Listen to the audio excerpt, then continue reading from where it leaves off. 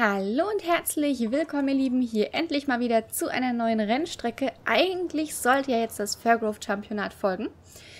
Ähm, aber ich bin bislang noch nicht dazu gekommen, es genau aufzunehmen zu dem Zeitpunkt, wo es halt immer stattfindet.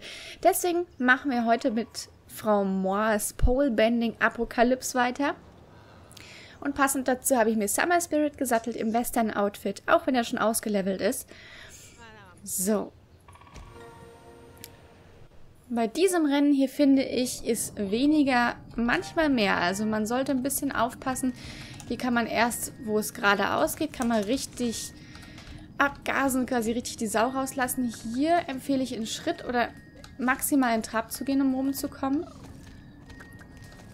Auch hier ruhig ein bisschen abbremsen, nicht unbedingt im vollen Galopp drumherum. Upsala.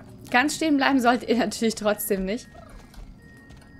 So, möglichst eng immer an den Stangen rum. So, und wieder zurück. Und dann war es das auch schon. Es ist eine sehr kurze Strecke, aber sie hat es in sich. So. Yay.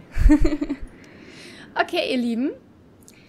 Wie gesagt, bei dieser Strecke gilt es sich wirklich zu merken, weniger ist manchmal mehr. Es bringt nichts, wenn ihr hier um die Kurven rast und dann in eine Stange reinrutscht und es von vorne machen müsst oder hier hinten in den Abgrund runterstürzt. Nehmt euch lieber ein bisschen Zeit und fuchst euch dann mit der Zeit rein. Dann geht es auch irgendwann ein bisschen schneller.